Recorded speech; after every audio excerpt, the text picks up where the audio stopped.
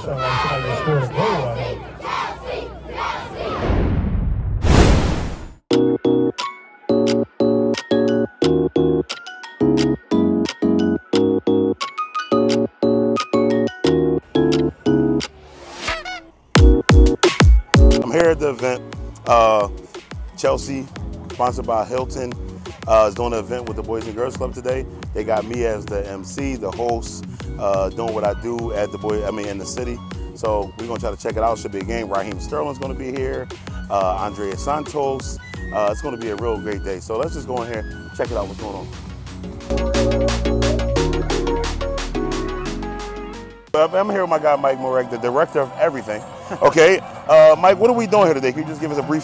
We got 100 kids from the Boys and Girls Club. We got one of the biggest football clubs in the world. Yeah. Chelsea here, bringing a couple players out. Want to kind of inspire kids to, to learn and understand the game of soccer.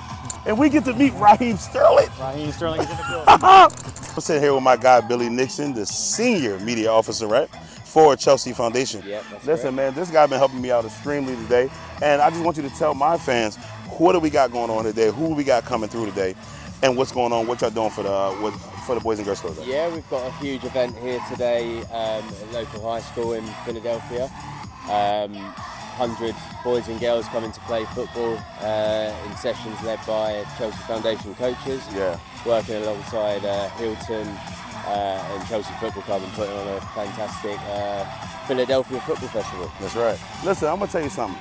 If I can talk like this, I would have got way more women in my life. Okay, like you just walk up to them, "How you doing today, buzzing guy?" this midfielder August Santos.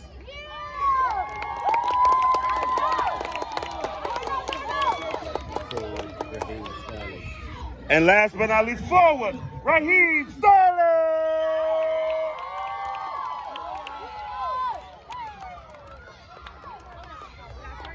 It's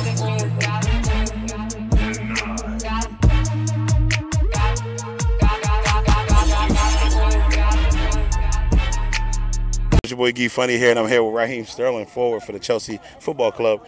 Uh, Kids want to know around the world, like when you're not playing soccer, what are you doing, like with your free time? Like, what else you like to do? Um, of course, spend time with my kids. Um, but apart from that, PlayStation, ping pong, any, anything that kind of gets me. I know you like PlayStation, right? got anything for competition. so if you wasn't playing soccer, is there any other sport that you would play? Uh, I'd like to say running. Oh, you a track star. Yeah. All right, guy. I'm Ghee Funny. I'm here with my right guy, Raheem Sterling. Thank you, man.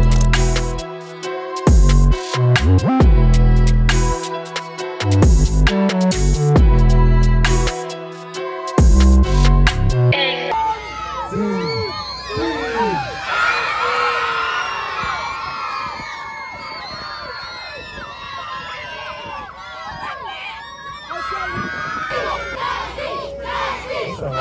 like